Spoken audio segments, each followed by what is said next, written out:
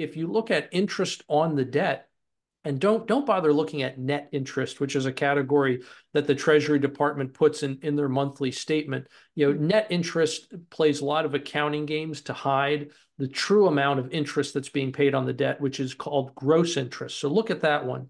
It's already at an annualized rate of a trillion dollars. In other words, it's going to cost a trillion dollars just to service the debt. Again, not pay it down, just to service the debt, just an interest. Yes, it is bigger than our defense spending all, already. Um, a lot of people think, oh, no, it's not that big yet. Again, because they're looking at that net interest component and not the broader gross interest component. Um, so what's the government going to do? They're going to counterfeit, but we can just call that quantitative easing because I guess it sounds nicer when when the Federal Reserve says that instead of hey, we're counterfeiting money and siphoning off value from every dollar that exists in order to create new ones. Welcome to the Rose Show podcast. Thank you so much for joining us today. I have the pleasure and honor of being here with a fantastic economist, truth in economics, I call it, Dr. E.J. Antoni. He is a research fellow at Heritage Foundation, public finance economist, focusing on fiscal and monetary policies. And we're going to go beyond the headlines today. I love your Twitter quote, it says, I may be wrong, but it's highly unlikely. And I agree completely as you are my favorite, one of my favorite economists. How are you doing today, EJ? I'm doing well. Thank you so much for having me. It really is a pleasure. Absolutely. Thank you so much for being here today. So I want to start with your background because, you know, it's um, the mainstream economists have one story and you are this beautiful select group of special economists that talk about truth, freedom, and prosperity for all. So, how did you come to the real economics? Oh goodness, that's a wonderful question. Um, yeah, I, I, guess it was just the fact that um, I, am I suppose I'm more in the mold of of uh, a William F. Buckley, you know Thomas Sowell, who's actually one of my heroes. He he went through a, a whole phase in his in his life where he was actually a Marxist.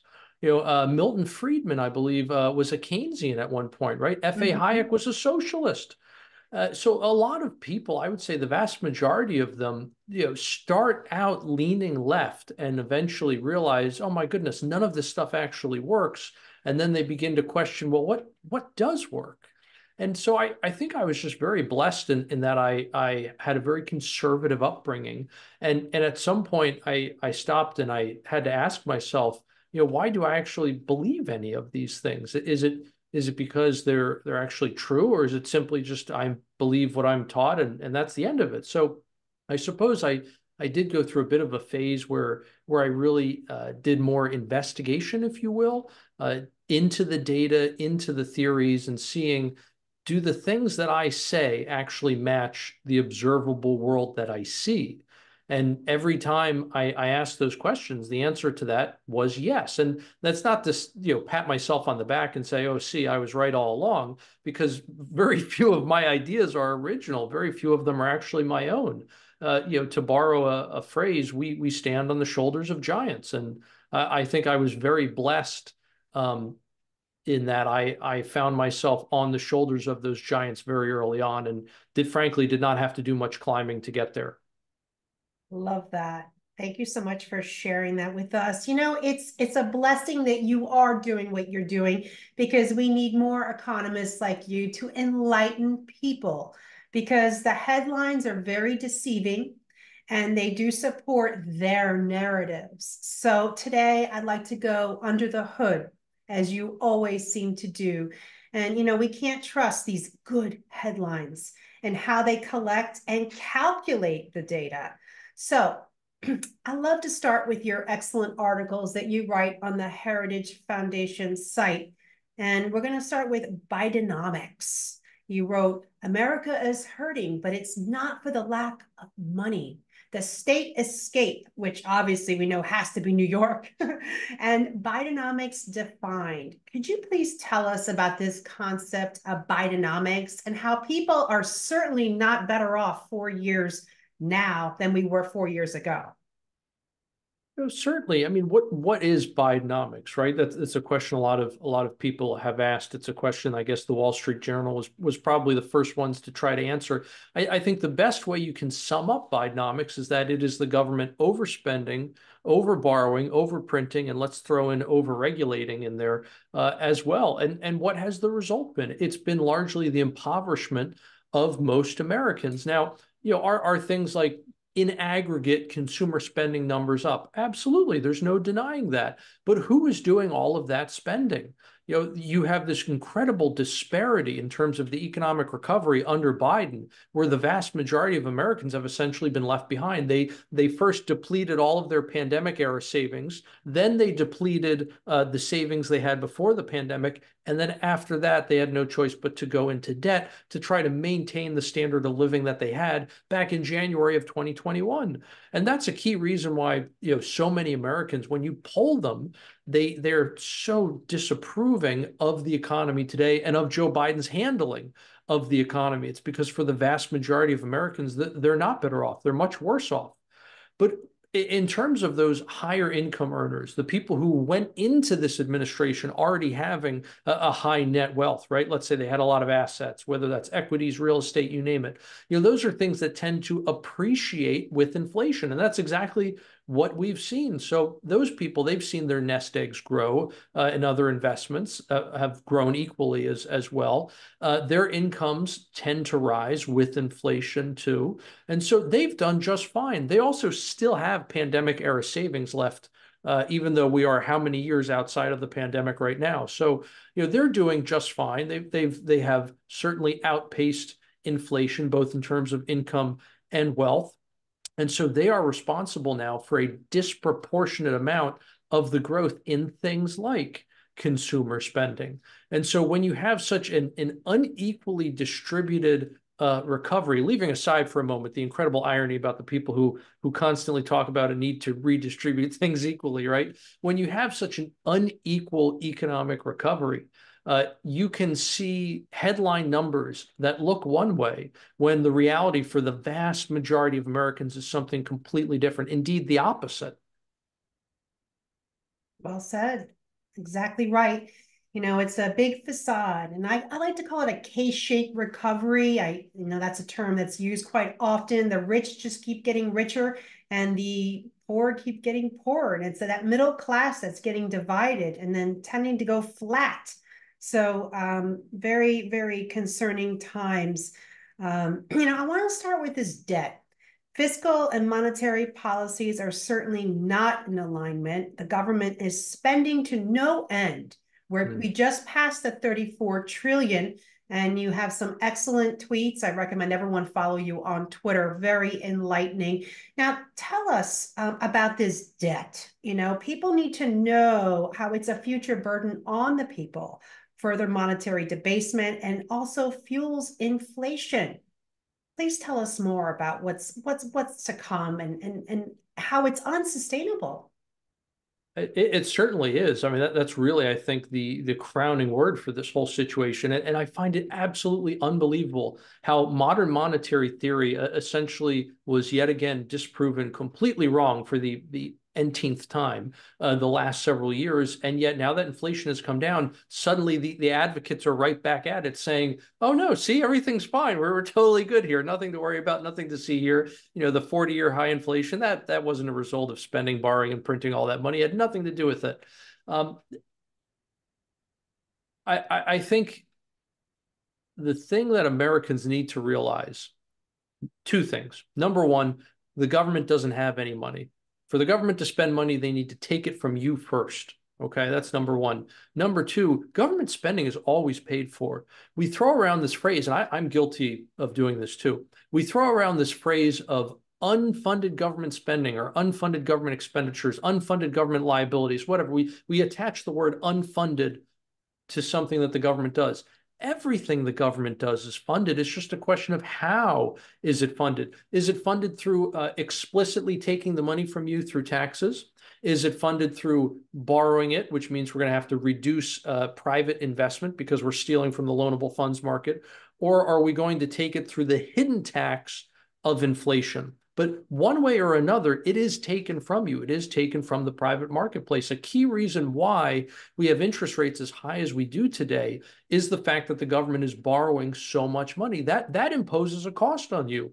When you have to uh, pay 8% on a mortgage instead of seven or six or five, whatever the case may be, you are indirectly paying a higher cost to the government because of their actions, because of their borrowing. Why is that? Because you and the government compete in the loanable funds market. You know, we forget a lot of times the interest rate is just a price. That's all it is, right? It's a price. It's the price to borrow money. Borrow money, obviously, over time. So when the government is going to uh, have this, you can look at it as either a huge increase in demand for loanable funds, or you can look at it as, as a reduction in the supply of private loanable funds. Whatever the case, both of those mechanisms however you want to look at it, cause the interest rate for private loanable funds to rise, meaning you're going to pay more. It doesn't matter if it's a mortgage, credit card, auto loan, student loan, anything else, and everything in between. So you know, there are all kinds of ways in which government spending impacts us that we don't necessarily think about right away. You know, obviously, when they say, hey, we're going to raise taxes today, in order to pay for a program that we're funding today. That's a very clear relationship, right? You can clearly see there, okay, one to one, no problem. But if you're wondering, where did the government get the trillions upon trillions of dollars that they spent over the last funded years in unfunded liabilities, right? They're taking it out of your hide right now through the hidden tax of inflation. This idea that that somehow greedy businesses or, or whatever other boogeyman we want to say is causing these higher prices, it's absolute nonsense. If you look at wholesale inflation, which measures the prices that that businesses are paying compared to the consumer price index, which measures retail inflation or the prices that we're paying, right?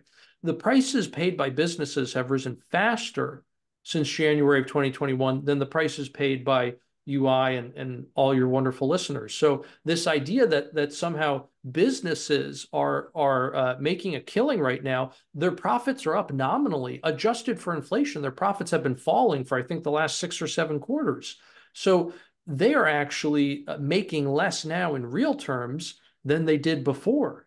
The difference is that they are charging more and they themselves are being charged more as well. And they have yet to pass along the, the full freight of all of their cost increases to consumers. In order to maintain market share, a lot of businesses have actually been eating some of those costs. So I, know I'm I'm sorry, I'm a bit off on on tangents here in, in terms of Bidenomics, but you know, I, I just think it's very, very important for people to understand there is no free lunch. And that's doubly true whenever we're talking about uh, the government spending any money, even if they're spending money on you directly. Remember that you're paying for the money that they're spending on somebody else. Well said, spoken like a true economist, because as we know in economics, everything is interrelated. There are all these moving parts that just keep moving. And you can't speak about inflation without speaking about debt and the labor market and businesses. Margins are compressed. And we know that. And the mm. higher cost of money, these higher rates haven't even fully worked through the system. So those those margins are going to be further compressed. And how much longer can they sustain this? We're seeing bankruptcies up significantly. So there's probably much more to come. And I mean, excellent points, EJ. Um, the crowding out of the public sector, you know, and that's what you touched upon. The government always finds a way to pay its debts, but what happens to the people? And you know, we see GDP bloat and there's it's it's in there it's the only one that gets revised higher it seems. Everything else gets revised lower but the gdp gets revised higher because of this massive government spending. And i think if you remove the bloat from that spending we could see that the private sector is in a recession. What are your thoughts on all that with what's going on with the spending and gdp and the well, recession Certain, uh, great question, and you know it's certainly true. If you remove the debt component uh, and people's ability, whether that's people, you and I, or the government, to to get credit, absolutely, we're in a recession. I mean, it, it's looking increasingly like the entirety of growth, the entirety of growth in the fourth quarter was likely fueled by debt. you know, going back to the word of the day earlier, unsustainable, I, would say that meets the definition right there. You know, obviously the the government in in 105 days they borrowed a trillion dollars, uh, so we have that.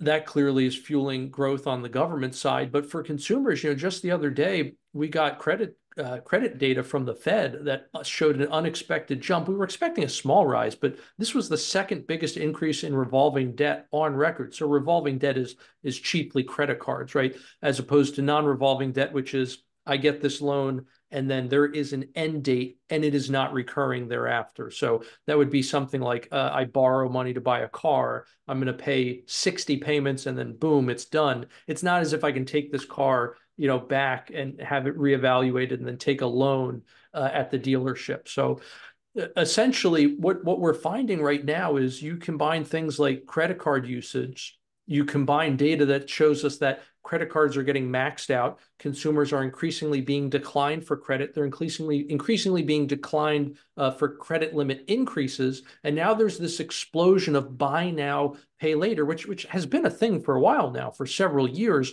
It's kind of a callback to the to the 1920s, really, back before we had so many credit cards and so many retailers financed consumers' purchases out of their own retained earnings. It just became too inefficient to do that though over the over time. So they just basically allocated that to the credit card companies. But now what's happening? Consumers are running out of credit cards, right? They're running out of, of that line of credit.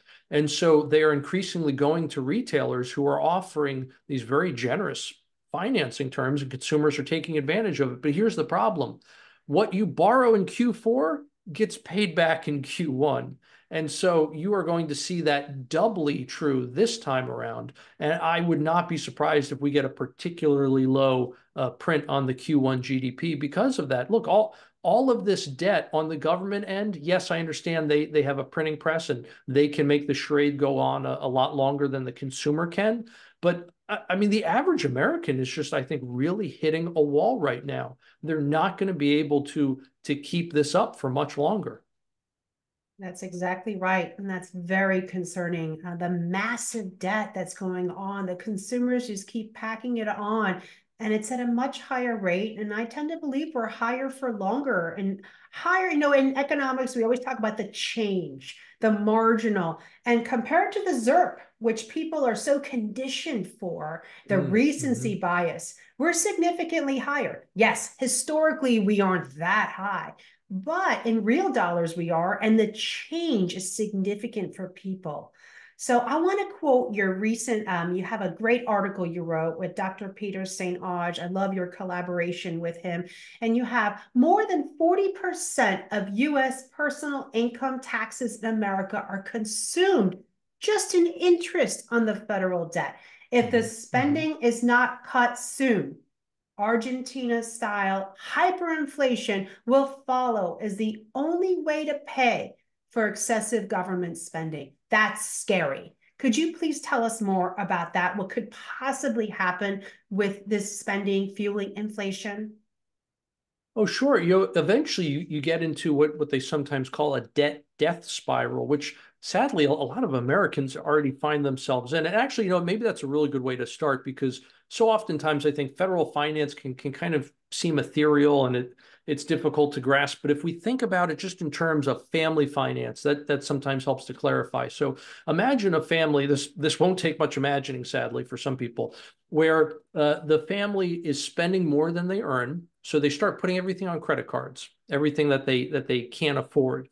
And what happens? Their credit card balance steadily grows. Well, while the interest rate on those cards are low, the financing charges that are accruing each month aren't that small, or excuse me, aren't, aren't that big. So they can just continue to make those, those minimum monthly payments. They're basically just paying off the interest and they're continuing to rack up credit card debt. But what happens when their credit card debt gets sufficiently large and the interest rates on those cards also rises, like we've seen today, where now it's at a, a record high? What happens is the financing charges alone exceed what the family can actually put towards those credit cards each month. And so let's say the financing charges are, are $300 on a card. The family can only put uh, $100 towards it. Even if the family doesn't spend anything else on that card, you're still going to see the balance grow by $200 month after month. In fact, actually, that's only the first month. Now the balance is bigger, the interest grows, and and you get that that exponential growth path there. So you can now never get out of credit card debt, and eventually, because the the um, the amount on the, I should say, the balance on that credit card, the amount you owe continues to grow. The minimum payment is also going to continue to grow because of how those those formulas are arranged. And as a result, the family is eventually going to have to stop spending on on necessities, and they're going to have to start spending more and more on that credit card. But they're not actually paying it down; they're just paying to service the debt. And eventually you you get to a point where you literally would have to spend theoretically 100% of your income just to service the debt, and yet it still wouldn't be enough. And, and you would eventually then owe more just in interest than you actually earn. So you're not you're not spending any money on food, on clothing, on rent, nothing. You are literally just paying to service the debt. Obviously, that's impossible, but that is literally where the United States is heading today. If if you look at interest on the debt, and don't don't bother looking at net interest, which is a category that the Treasury Department puts in in their monthly statement. You know, net interest plays a lot of accounting games to hide the true amount of interest that's being paid on the debt, which is called gross interest. So look at that one. It's already at an annualized rate of a trillion dollars. In other words, it's going to cost a trillion dollars just to service the debt. Again, not pay it down, just to service the debt, just an interest. Wow. And so you've already seen that eclipse defense. Uh, it has eclipsed uh, you know, the, the broader categories of Medicare, Medicaid, et cetera. There are only two line items in the entire monthly report that are larger still. It's the Social Security Administration and the Department of Health and Human Services. So yes, it is bigger than our defense spending all, already. Um, a lot of people think, oh, no, it's not that big yet. Again, because they're looking at that net interest component and not the broader gross interest component. Um, but so how, how do we go from there to, to hyperinflation? Well, if that family could counterfeit money in their basement, they would do it. Why? Because the alternative is I don't have any money for food, for housing, for clothing, uh, you know, et cetera. So what's the government going to do? Same thing. They're going to counterfeit, but we just call that quantitative easing because I guess it sounds nicer when when the Federal Reserve says that instead of hey, we're counterfeiting money and siphoning off value from every dollar that exists in order to create new ones. That's effectively how the government gets out of that scenario. And and if there's any doubt as to that happening, you know what? Since we've entered the age of fiat, I can't find a single instance anywhere in the world where a government hasn't decided to take the easy way out on this. So please explain to me why on earth we should think of ourselves as as any exception to that historical rule. Well said. Exactly right. Very scary. Um, and very important, great point that you look at the gross. And um, yeah, we see a trillion in debt expense, um, interest expense. Wow. And they just keep hiding. And that and that's the thing. But my question is, you know, and a lot of people wonder how much longer can they keep kicking the can down the road? Mm-hmm. You know, we say unsustainable, but how long do you think they can keep hiding, masquerading, and uh, and continuing this path? That's a really, really good question. Um, I, I, I have to criticize a, a lot of my uh, a lot of my colleagues on this, honestly, because I think for so long people on the right, you know, so-called fiscal conservatives, libertarians, whatever the case may be, have been have been uh, chicken little, right? They've they've been saying the sky is falling here. They have been consistently right about the direction, but not the magnitude. So yes, we are on an unsustainable path, and, and we have been for, for years, for, for a couple of decades now. That's true. But to constantly say, if we don't fix this by X magical date, right? Or by X magical dollar amount or you know ratio of, of debt to GDP. Uh, you know, you, you pick what whatever metric you want to use. You know, we have no idea where where that that uh, point of no return is. Let's let's be crystal clear here. So this is not somehow alarmist in the sense of, oh my gosh, we are one year away from you know from X date. No, no, it's not that at all. Those those different metrics have proven to be different for different countries at different points of time around the world. So we don't know. But that, I think, is the real reason why our current path is so sustainable. We, I mean, who knows? We may already have crossed that point of no return. We don't know. And I think that's why it's so imperative that that we try to make these moves right now, that we try to turn things around right now. Let's face it, this country is a big old battleship. She takes a very long time to turn around. It's not as if you throw the wheel over and, and it just turns on a dime. So you need to start the process as soon as you can because we don't know when that process is going to finish and we don't know if it'll be uh, in enough time. You know, so so how long can they keep this thing going? I mean, we we honestly don't know because what what has happened every time we face a crisis, they find a new way to kick the can down the road. Look at what happened in March with with the um, mm-hmm. uh, with so many of the regional banks getting into trouble. Which honestly, some of them I I do fault. Others I have a lot of sympathy for getting on the wrong side of that interest rate trade because the Fed promised them we're going to continue ZIRP for, for years into the future. In other words, that was an implicit um, recommendation. You don't need interest rate hedges. Whereas you have banks like SVB who had a ton of interest rate hedges and only uh, three or four months about before their catastrophic collapse, when those hedges were at the peak of their valuations, they sold them all off. So you, you can make a pretty clear argument that some of these folks knew what they were doing and were counting on getting bailed out, uh, whereas others genuinely were caught with their pants down because the Fed promised one thing and and then did another.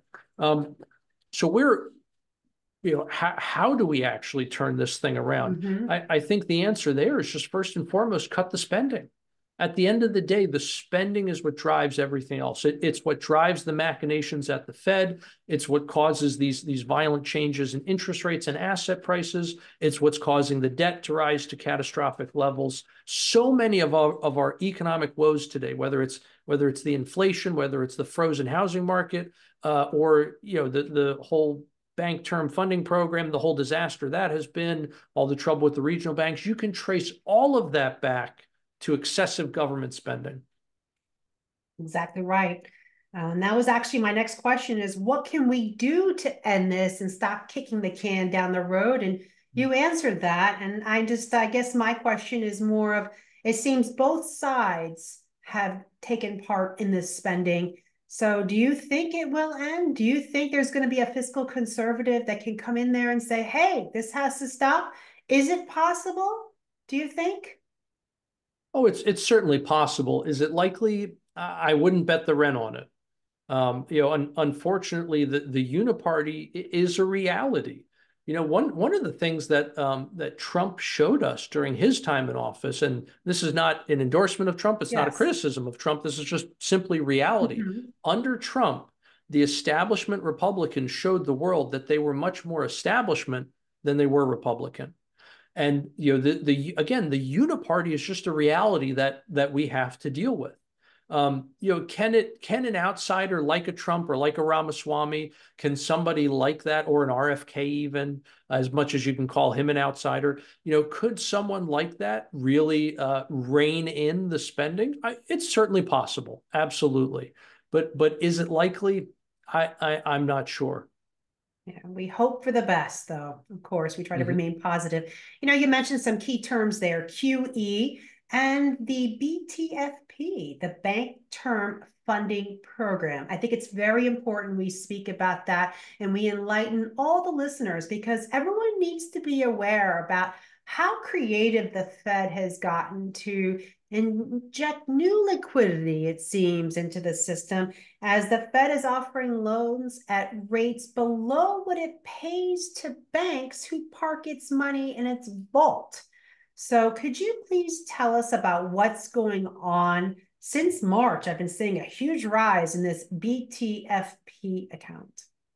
Certainly. So th this goes back to all the problems with with the regional banks, problems that the Fed itself created. So this is this is once again government having to jump in for a solution to a problem that it caused in the first place. So what what is the bank term funding program? Essentially what it is is it allows banks to take devalued assets and get loans using those assets as collateral. So for example, the well, let me let me back up here and say why is this even necessary? What happened was banks, because interest rates were forced so low by the Fed, credit and money were, were so easily available, it was impossible for banks to, to offer loans at high interest rates because there was somebody else who could undercut them. And so banks were forced to acquire assets at very low interest rates. Now, you may say, why is that an asset? To the bank, it's a revenue stream, right? Every month you're paying your mortgage. That's every month income for the bank. So that's, you know, got to remember we're thinking about this from the bank's perspective. So they were constantly acquiring all these very low interest rate assets. But then as interest rates rose, what happened? Well, liabilities now had high interest rates. One of the main liabilities is going to be deposits, right? They have to pay you for you to keep your money at the bank.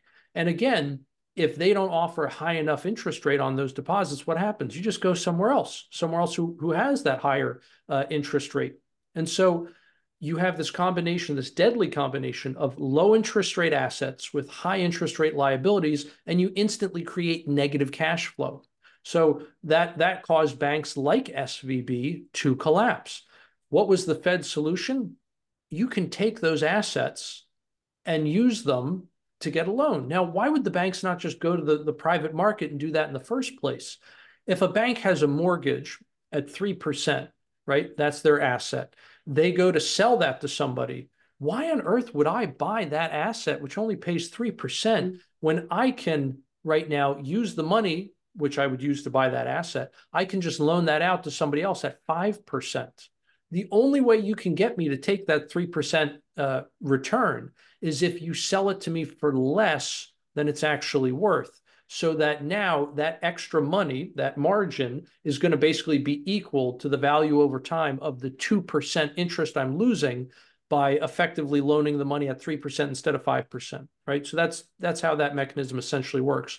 So now the problem is all those banks would have to start selling assets at a loss. So you have negative cash flow and you're going to exacerbate the problem.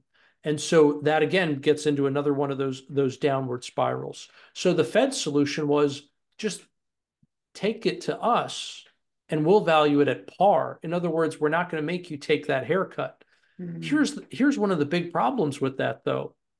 They are now going to take that money, right?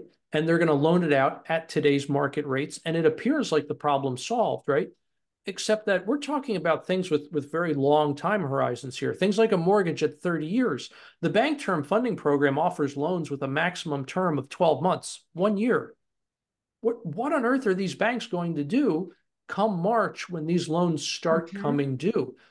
That's completely unclear. And in fact, when he was asked in a press conference uh, about what is the Fed planning to do here? Are they just simply going to extend those loans? Powell literally said, you can't make this up. Powell literally said, uh, uh, we haven't thought that far ahead. I'm not kidding. He literally said, we haven't thought that far ahead. You put one of the biggest band-aids ever on the American financial system, and you hadn't thought more than 12 months ahead. Okay, these are the clowns running our, our central bank. Good to know.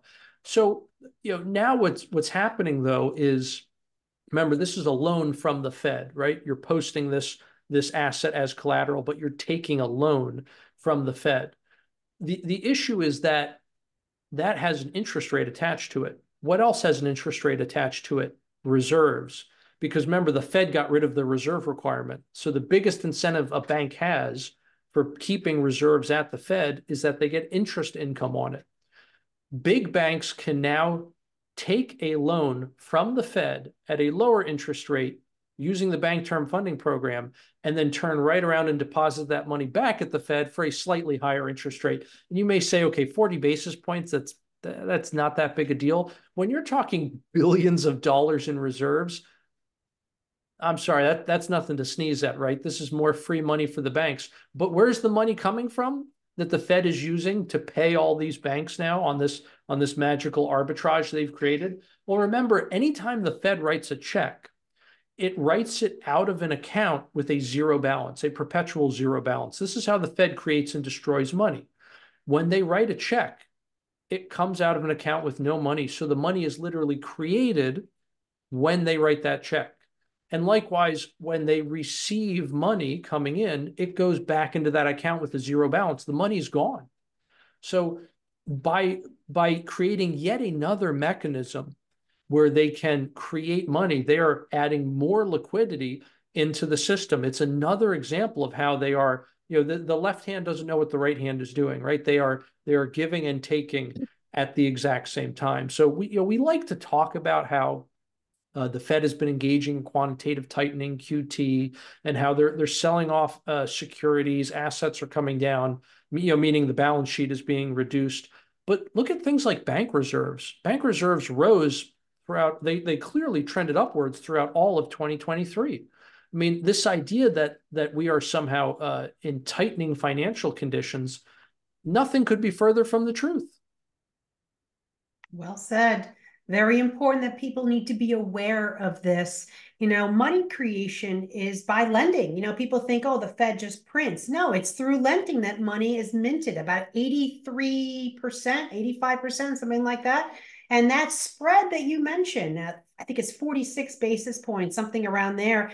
Um, that's significant on billions of dollars. And it just seems to me that these big banks the JP Morgan, the Wells Fargo, and even Bank of America, we're, we're headed for more cons consolidation as there's going to be less banks and more branches. And there's going to be a banking oligopoly that's going mm. on. And that's mm -hmm. that's very scary. What are your thoughts on that? Do you think we're going to see more consolidations and the big are just going to get bigger? Well, that's certainly what Janet Yellen wants. And, and she's been very explicit about that right? She's talked about, you know, she calls it consolidation as if somehow that, you know, that makes it better. it's like calling it quantitative easing. Yeah, we're robbing you with inflation, but we're going to use a fancy way to, uh, uh, to, you know, just explain that away right there. You know, you, know, she has already talked about how if, if we had uh, fewer small banks and more big banks, what would happen? Somehow the financial system would be would be more stable and and secure. Now does she offer any explanation as as to why she believes that? Of, of course not. You know but it's certainly what what a lot of her cronies on wall street would like to see. Um, you know and, and, to be clear i'm not you know I, am not disparaging uh, a lot of the people on wall street. Very very fine people. I know many of them at a lot of major banks whether it's commercial banking or uh, or investment banking.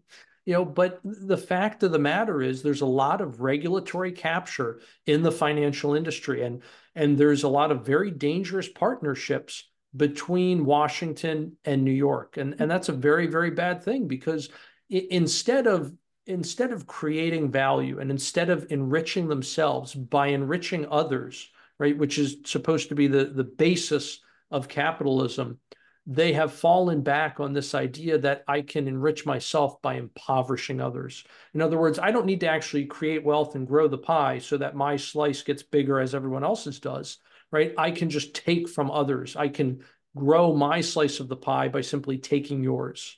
That's it's something very, very dangerous. And, and it's what Yellen is very, very clearly after right now.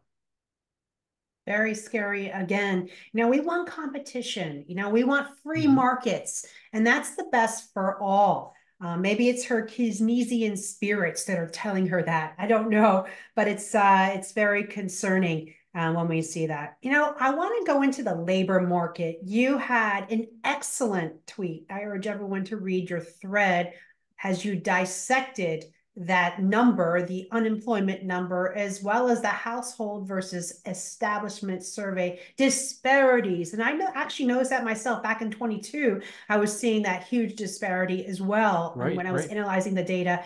So the multiple job holders being counted more than once, and that's very concerning as well. So mm-hmm. According to your tweet, I'm going to quote you, we don't have 6.3 million unemployed with 3.7 unemployment.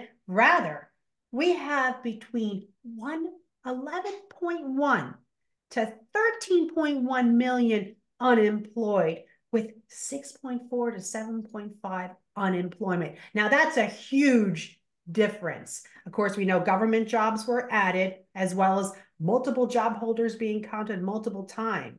But that's a big disparity. Please tell us, EJ, what's going on and, and why this huge disparity? Is it something to do with the labor force participation rate?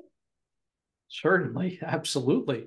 you know, and, and and you're right. You know, going back to something you said earlier first, something clearly breaks in the labor market in 22, specifically March of 22. We we see a bunch of of uh, you know, when when you chart these things, they're very clearly inflection points, right? There are kinks in the line that that happen at that point, and it's across a whole host of different metrics at at BLS. Oddly enough, um, but one of which is the difference between the employment, uh, excuse me, the difference between the, the household survey and the establishment survey. So the household survey, as its name implies, is a survey of households. Establishment survey is a, a survey of businesses. So we get things like the unemployment rate from the household survey. We get the top line jobs number from the establishment survey, what is really called non-farm payrolls.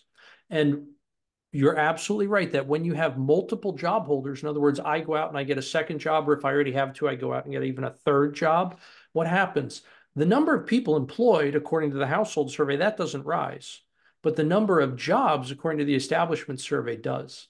And so, as we've seen more and more Americans have to go and get that second or even third job, we have seen this huge increase in the number of uh, non-farm payrolls, again, which we oftentimes think of as people employed, but it's not. But the actual number of people employed has not kept up. And, and the way these two have, have diverged over time is actually unprecedented. We genuinely have never seen anything like this as long as, as BLS has been keeping track of this data.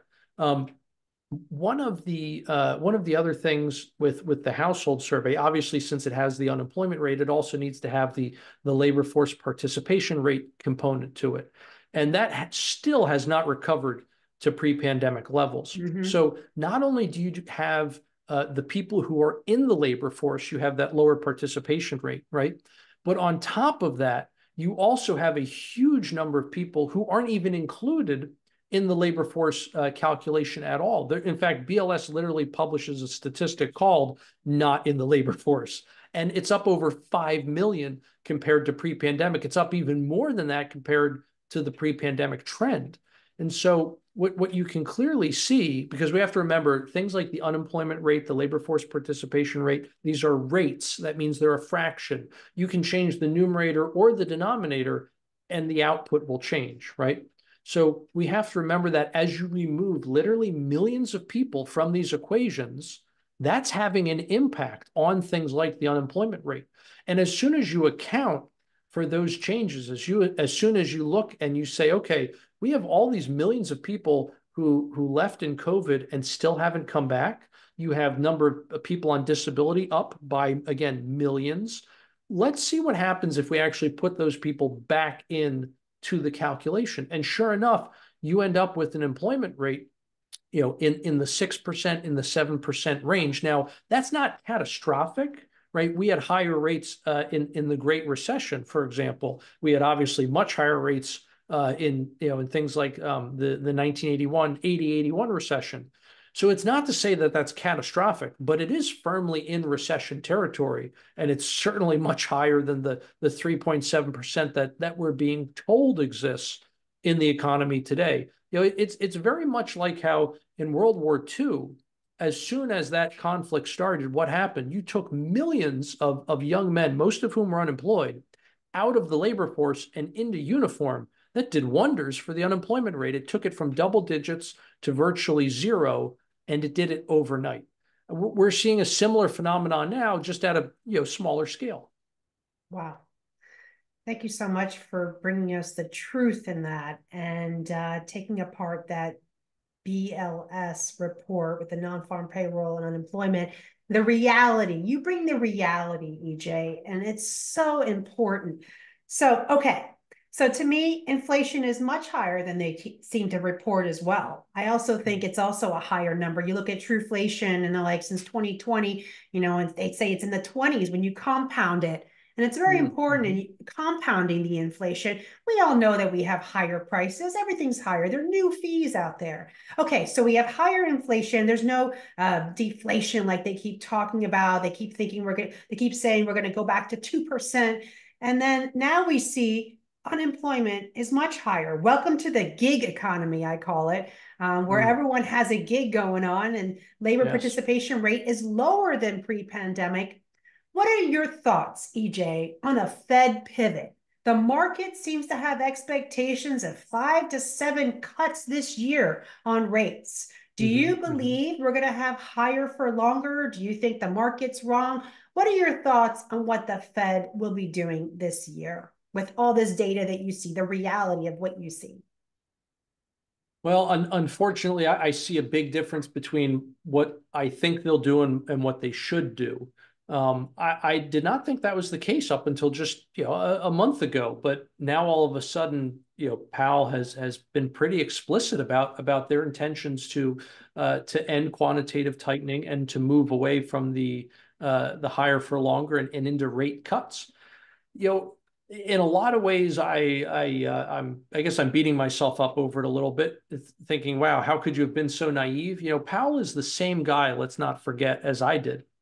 Powell is the same guy who, when he was up for renomination, he kept rates under one percent as inflation ran up to a 40-year high.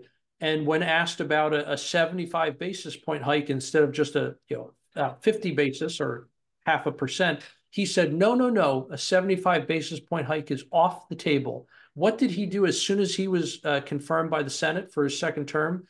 Gave us four of those 75 basis point hikes in a row. So, you know, what was there? And I, I think a lot of that was intentional on the White House's part. You know, if if they had not delayed Powell's renomination so long, Powell could have moved much quicker than he actually did. But because he he had that political constraint, that albatross around his neck, he was stuck. He had to keep rates low in order to keep the White House appeased. And you know, Donald Trump has made it very clear if he uh, is reelected, he's getting rid of Powell. Full stop. He has more than once said that Powell is his his worst appointment ever. I don't know if that's true. It, he's certainly in the running. You know, Trump had plenty of bad appointments. It's amazing. the man had some fabulous appointments and then some absolutely terrible ones, um, and and very little in between. But Powell, I think, knows that if Trump wins in November, he's toast. You know, he he may get a lot of really great speaking gigs on Wall Street thereafter, but in, in terms of his career at the Fed and and in any other government appointments, he's probably done for life. If Biden wins, there's a good chance Powell gets a third term. Um, so, what is Powell's incentive? Powell's incentive is now to keep economic conditions a okay until the first Tuesday of November. After that, who the hell cares? But up until that point, he needs to keep the whole thing to get you know stitched together with bubblegum and baling wire as best he can. Um, I think that's probably what he's going to try to do. He is going to create as much money as he can politically get away with next year, or I should say this year, excuse me, yeah. this year, 2024. Um, you know, it's, it, I, I wish I did not have to be this cynical. Um, I, I used to think that the Fed was a was a nonpartisan institution, that they were data dependent. But how many times have we seen inflation expectations, which Powell swears by, that you know this is a metric they watch so so closely. We have seen time and time again where inflation expectations jumped and the fed did not. They just said ah it's probably nothing. Likewise we've seen times when inflation expectations actually came down and then the fed said you know what? This would be a good time for a quarter basis point hike. So i mean this idea that that they look at the numbers the only numbers they look at frankly are the polls and, and it's not even the polls of themselves, it's the polls of their political masters. Uh, again, I, I wish that weren't the case. I wish we could expect higher for longer from the Fed, but I, I just don't see that happening. And, and even if they do keep rates where they are, uh, even if they they do maintain the the quantitative tightening, right, which is the the sale of of securities, I think they will find other ways to inject liquidity. They will find other ways to grow the balance sheet, right? Uh, such as such as emergency loans.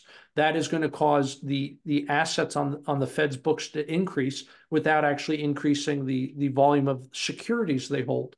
Um, let's not forget the you know reverse repo market is still going to inject about a trillion dollars of liquidity this year before that runs dry. So they, they I think, are unfortunately going to find as many ways as they can to inject as much cash as they can into this market. Because let's not forget, when it comes to that money creation, the good effects come first, the bad effects come later. You know, Milton Friedman famously um, uh, mm-hmm. used used alcoholism as the metaphor there. You feel good at first, the hangover comes tomorrow. That that's the only reason anybody drinks too much. If you had to go through the hangover first, nobody would have more than one or two drinks. Well said. You know, that's why we're so blessed to have you, EJ, um, to speak the truth. And I love that. You know, you speak what you see and how it is. And I appreciate that very much. And I agree completely with you. Otherwise, I'd be wrong if I didn't, because I, I do. Um, you know, it, it's, um, I love that you quote Milton Friedman. And actually, over the holidays, I watched with my kids Free to Choose. It's a great TV mm, series, mm-hmm, like 10, mm-hmm. I think it's 10 episodes. Love that. And Milton Friedman is fantastic, the monetarist. Um, I love, and I love that quote by him. Um, and he talked about in that episode about the the airbags. That was a big thing in the early 80s. Um, but yes. there love love his stuff and his work. You know, I think the Fed has lost credibility at this point, and you know they they seem to be mm-hmm. absolutely politically affiliated.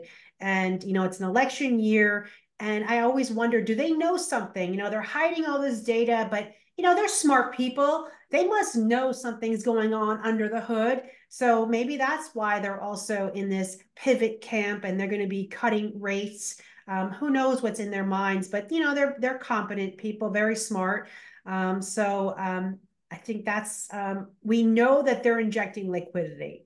And we can tell by looking at the financial markets. And that's what I want to ask you about the stock market. You know, many people are talking about we're in a new bull market. And the market has just been strong and running. A lot of mm-hmm. economists have been talking about a 1970s replay plus higher debt. But when we look at the financial market, we see a different picture and we see this mass liquidity. And, you know, at the same time, we have extended multiples, like we discussed, margins compressed, higher cost of money still hasn't worked through the mm-hmm. system. And um, consumers are strapped. Buy now, pay later. Excellent point that you mentioned earlier. Higher debt. Um, and then we know that it's really the the top you know one to five percent that really invests in the stock market and like we discussed the k-shaped recovery the rich getting richer what are your thoughts on the financial markets and into this year? Do you think there's going to be a reality check or do you think it's looks like the liquidity is is going towards the markets? It's a really, really good question. Um, equities are an interesting one, largely because of of reverse repos. I mean, uh, essentially, what's happening today is people are, I should say, banks are are increasingly choosing instead of lending to the Fed to lend to the Treasury. Um, now, you may say, okay, that seems like a pretty clear one-to-one transition there. No harm, no foul. Why would that change anything? Because when you're lending to the Fed, that money's locked up. When you lend to the Treasury, it gets spent. It gets spent right away. Mm-hmm. So that means that it's going to work its way through the banking system and it's going to multiply. And that's where you get most of that inflationary impact. I, I think you mentioned earlier, actually, right? When the Fed creates money for the government to spend, you know, you, let's use the old 10 to 1 ratio just to make it simple for, for reserves. The Fed creates a dollar for the, the Treasury to spend. However, that then works its way through the banking system and multiplies and creates nine additional dollars. So, mm-hmm. the, what the Fed did with reverse repos under Biden was to essentially create a system where we can um, print this money for the government to spend, but then sterilize it in reverse repos you know, in order to maintain our, our interest rate floor. And we now eliminate 90% of the inflationary impact from our money creation. So, you know, one of the key things now that's helping to continue fuel inflation, despite the fact that the Fed has been selling securities, is the fact that as money moves out of reverse repos, and goes to lending to the treasury because of their you know multi-trillion dollar borrowing spree what's happening? You're basically taking two, $2 trillion out of sterilization. You're letting it out to play where it's going to create another um, uh, what's that? Uh, 18 trillion dollars right? So this idea that that somehow um, this this swap in trading or I should say, this swap in lending isn't going to have an impact, I think is deeply, deeply flawed. And sure enough, as money has left reverse repos, it has caused bank reserves to increase. And if you um, if you take a chart of the S&P and bank reserves and you overlay them, you can see there's a very, very tight correlation there, even without actually doing any math to, to establish it, just visually, you can see it. And so as long as we continue to have that reverse repo drain, you're continuing to have that liquidity injection, and that's going to continue to buoy equities. Now, what happens when that runs out? You know, now the Fed has to find some other way to inject liquidity if we're going to have equities continue to rise. If not, the game's over and we, you know, the music stops and we get to see who's left without a seat. But it remains to be seen whether or not the Fed is going to find a new way, again, to inject that liquidity. Because otherwise, we go back to something we said at the very beginning of this conversation crowding out. As long as Yellen continues to suck all the oxygen out of the room with her borrowing spree, you're, you're going to continue to have these problems. Well said. Exactly right, EJ. Now, I want to get your thoughts on different asset classes. Um, as mm-hmm. there are commodities, the real assets during this time period, tech, the cash generators, the Mag 7, the highly liquid ones. Is there anything you're bullish on or, or that you're interested in or maybe more bearish on instead? Um, and your thoughts on Bitcoin? Oh, sure. Well, let, let, us take Bitcoin first, I guess. Um, so I, I I have no horse in this race. I don't own any Bitcoin. I am I'm neither short nor long, right?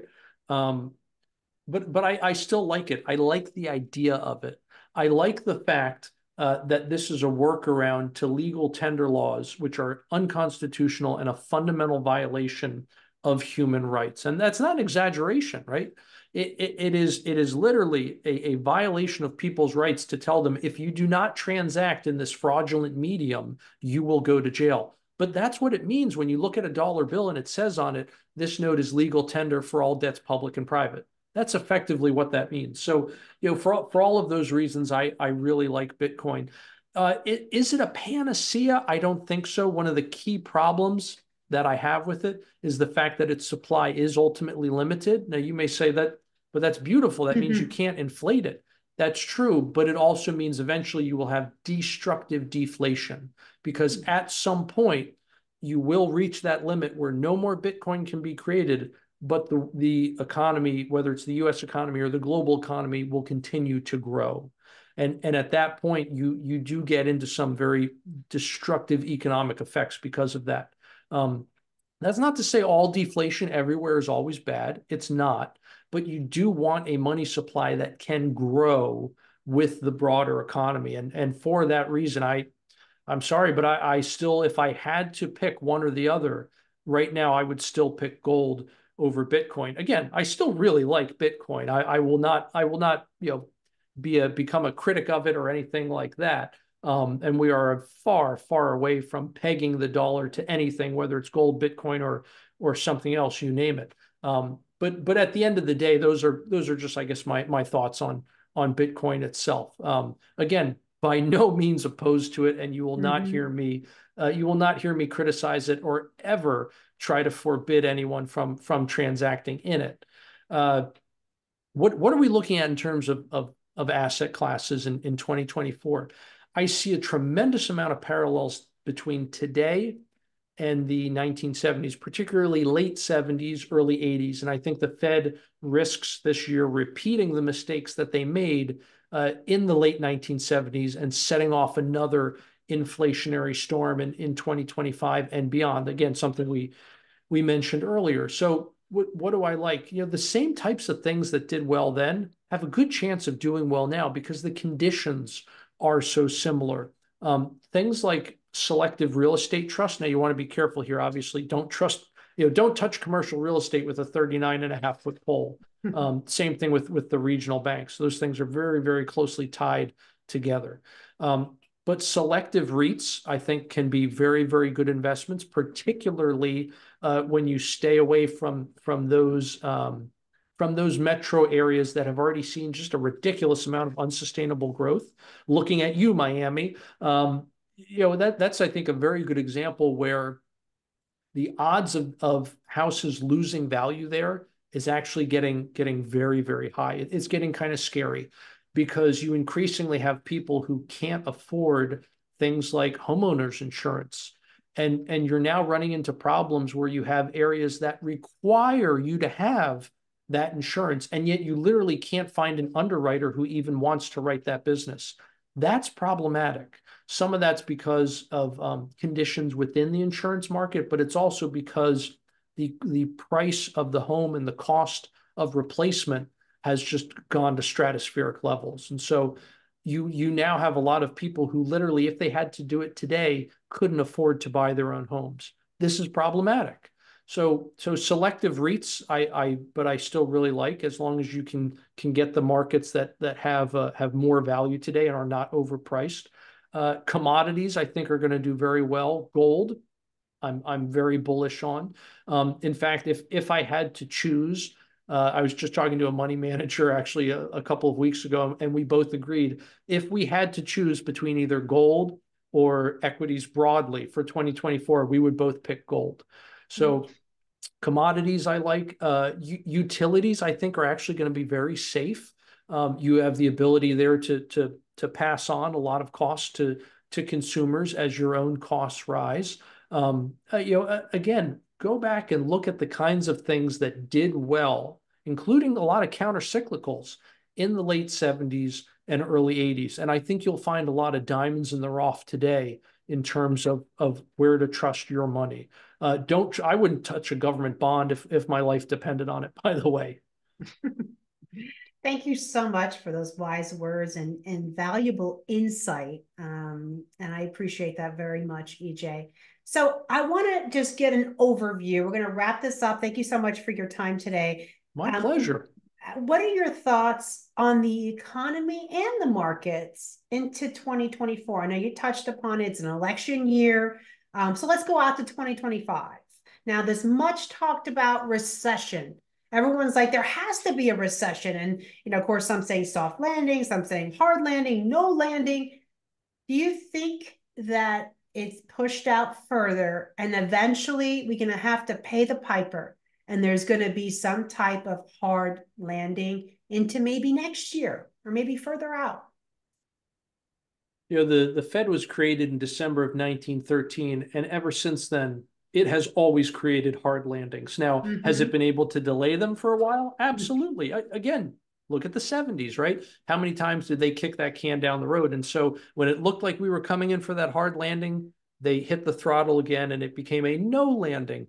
Of, of course, then you're right back on that inflation roller coaster. But so to, to your point, it, it's a lot like cancer when you catch it early, stage one, it takes a minimal amount of, of chemotherapy and radiation. You're not going to really do a lot of harm to the rest of the organism, right? The patient is not going to have to go through hell to kill this cancer. But when when you instead put the patient on a sugar diet, what happens? That tumor grows mm-hmm. and it grows fast and you don't give it the chemo and the radiation it needs. So now when it hits stage four, now you end up having to nuke the sucker and you do a ton of harm to the patient in the process. So the longer the Fed does kick that can down the road, the more band-aids they put on the system instead of ripping the band-aid off, the worse the eventual recession becomes. And that's a key reason why that 80 81 recession was one for the record books you know, why was the, the Great Recession so bad and why was it so long? Again, the Fed kept rates way too low for way too long. And then what was their answer after they put rates up and the recession began? Drop the rates all the way mm-hmm. back to zero again and, and start this policy of ZIRP. And, and as a result, you never had the um, you never had the reallocation of capital that usually happens in a recession because the recession was actually cut short. And so you did return to economic growth, but it was anemic, it was pathetic, right? You know, one or two percent growth per year that doesn't even keep up with, with population growth. Th- that's not a recipe for wealth. That's a recipe for impoverishment. So what do we have you know lo- looking forward here like you said beyond 24 into into 25 and and thereafter I think a lot of that is going to depend on, um, I should say, that situation improving depends on changes in leadership. Um, this is not an endorsement, but I absolutely love how Ramaswamy keeps hammering the idea that if we have a Fed at all, it should be focused on one thing and one thing only, and that's price stability. Mm-hmm. Uh, I, I, had dinner with him up up in New York, um, couple couple months ago, two two or three months ago, we'll say, and uh, I, I, had said to him, you know, Mr. Ramaswamy, I, frankly, I, I'm not even sure that goes far enough. I think even if you have a Fed there's so many different ways they have of manipulating the market. I think you need to put a, X, Y, and Z um, conditions and restraints in there. Basically, I'm telling him we need to put a choke collar on the Fed. And uh, he turned to me and he goes, I love that. I love that my proposal is not enough for you. He said, I don't want people who, when I propose the bare minimum we need, fight me. He said, I want people who, when I propose the bare minimum, say, let's go one step further. And I, I, I was, I found that very, very appealing, that mentality, um, because I, I do think uh, he and others like him, again, this is not an endorsement of him, mm-hmm. but I, I do think he and others like him understand that we do really need to chain the beast here. And it's going to take a pretty radical change in leadership at the Fed, at the Treasury, throughout government to really make the changes we need again to course correct here to get us back on a track to something that even resembles fiscal sanity and and long long-term stability now we've been in worse shape before right i mean we had a civil war for crying out loud we we got rid of the gold standard plenty of times before and we were able to get back on the fed is not our first central bank it's our fourth we buried the first three. We can bury this one too. I mean, the the idea, you know, again, going back to to how I have to critique some of my colleagues who have been chicken little saying the sky is falling. The idea that that we have never been through worse and that the end is nigh. You know what? We have been through worse, and and hopefully we have enough time before the end to to get this country back to a greater place where it was before, and you know where it can be again. Wow. Well, it's people like you that are enlightening and waking people up to, you know, there's hope, but we need to change course. I like that chokehold on the Fed. Absolutely. You know, the Fed give us whiplash. You know, they went so to yes. zero, then they went up so fast. I think over 500 basis points in a little over a year. So um, that has ramifications and there are consequences. And I, th- I believe Murray Rothbard, I read one of his books, a couple of his books recently. They're all free on the Mises Institute site for mm-hmm. everyone who wants to read them. And I love Mises Institute, my one of my favorite websites. Um, and you know, he talks about you know you just have to work through. It's going to be pain, but you have to work through it. You can't keep putting these band aids on and keep kicking the can down the road. But I say Dr. EJ Antoni for Fed chair, right? I think you would do an excellent job. I, I do not wish that on my worst enemy, please. I know, right? But thank you so much for everything. Now, I want to know what are you working on these days and what can we look forward to hearing from you? Anything coming up? And how can people follow you and read all your fantastic work? Well, the best place to follow me is going to be on X. Uh, that's that's really the only social media that that I use. Um, I, I, find it's a, a, very very good platform for for getting across the kind of information that that I try to provide for for the American people and really uh, around the world. I'm actually genuinely surprised at how many uh, international followers I have. So that's the best place to find me. The handle there is is at real EJ Antoni. Uh, I post all kinds of, of uh, reviews of data releases there so that you don't need to be an expert to, to actually do these deep dives. You can you can get the, the summaries from me, which I promise will be an, an honest critique and not just the headlines you read in the news. Uh, I post the articles that I write uh, and, and also other thoughts as well. Uh, in terms of what, what you can look forward, that will all continue. But early this year, we'll, we'll also be publishing a, a paper, a definitive paper uh, for the Heritage Foundation, which will essentially be our stance on monetary policy. So how and and also how we go from from where we are today to that um, you know that that shining uh, shining star or that north star, I should say. Um, how we get from from here to there. So not just this is what we uh, what we support, but also here's our roadmap for getting there. So you you can look forward to that in the coming months. Wonderful. Love that. Looking forward to the future and how we can get to where we want to be. Um, definitely looking forward to that um, publication. Thank you so much for meeting with us and speaking about the truth in economics, EJ. You are amazing. You're awesome and fantastic. This has been great. My pleasure. Thank you so much for having me. Absolutely. Thank you.